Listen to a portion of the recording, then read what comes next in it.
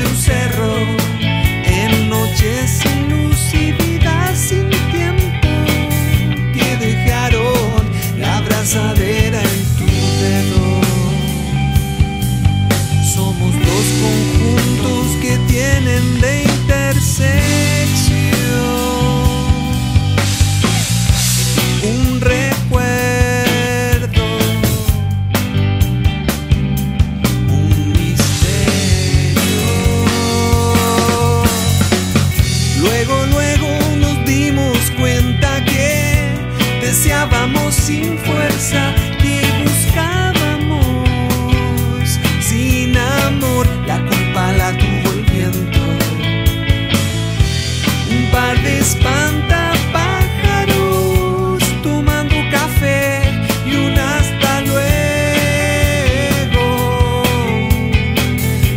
abrazadera